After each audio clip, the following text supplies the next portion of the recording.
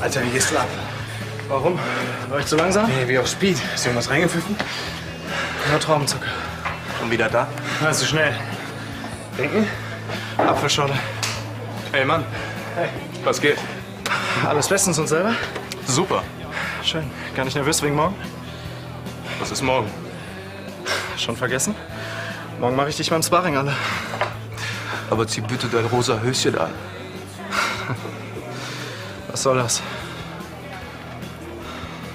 Wolle meinte, du wohnst mit diesem Schwuli zusammen. Stimmt das?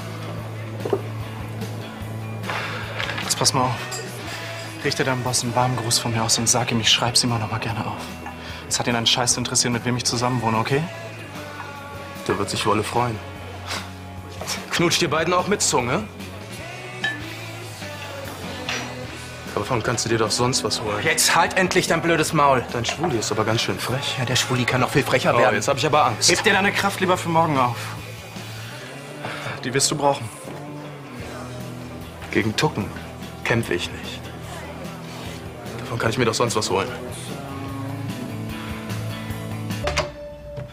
Axel ist so ein blöder Sack. Ich Hey, davon lassen wir uns doch nicht den Tag versauen.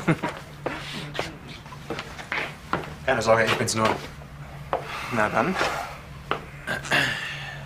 Mir ist ja eigentlich egal, wer mit wem. Dann mach dich vom Acker. Aber ich finde, ihr solltet eure, eure Triebe mal unter Kontrolle halten. Denn wenn das rauskommt, dass ihr beide zusammen seid, dann kann Christian einpacken. Wir passen schon auf, Gregor. Es ist in deinem Interesse. Als schwuler Boxer hast du keine Chance.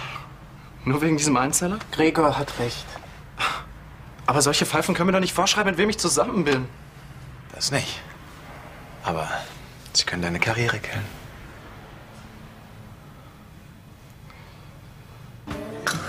Danke.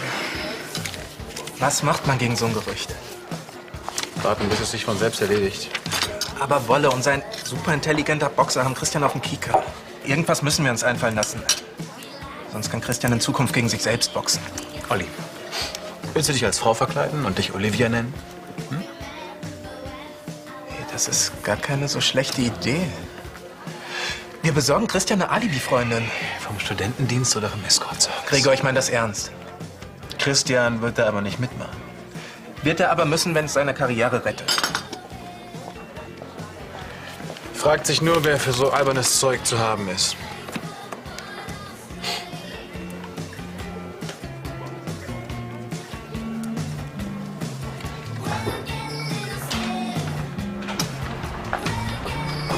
Oh Mann, ey. Linda vom Feinsten. Kannst du nicht aufpassen? ja, ja, ja. Ich auch. Okay. Es gibt ja auch noch andere Frauen auf der Welt.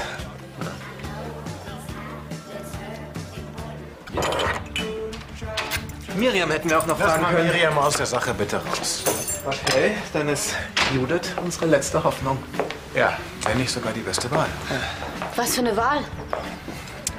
Wir brauchen eine Alibi-Freundin für Christian. Alibi für was? Dafür, dass er ein lupenreiner Hetero ist. Du meinst das Gerede, seine Kumpels aus dem Gym. Verstehe. Klasse, heißt das, du bist dabei?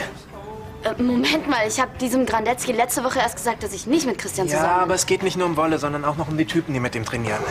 Du, wenn die glauben, dass du seine Freundin bist, dann lassen die ihn bestimmt endlich in Ruhe. Ist es so heftig? Ja, du hättest Axel mal erleben sollen gestern.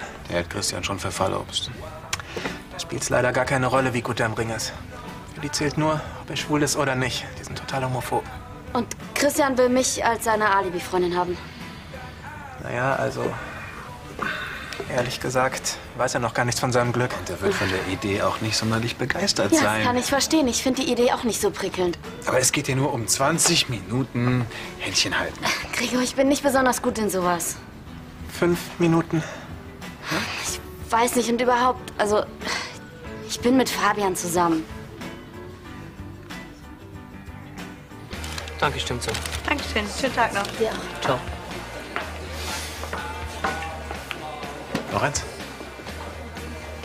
Wann kommt Christian eigentlich? Keine Ahnung, der ist noch in der Uni. Uni. Auch so ein schwuler Kram. Jo, jo, na, so ein bisschen Bildung könnte euch auch nicht schaden, ne? Uni ist was für Weicheier. Ja, stimmt.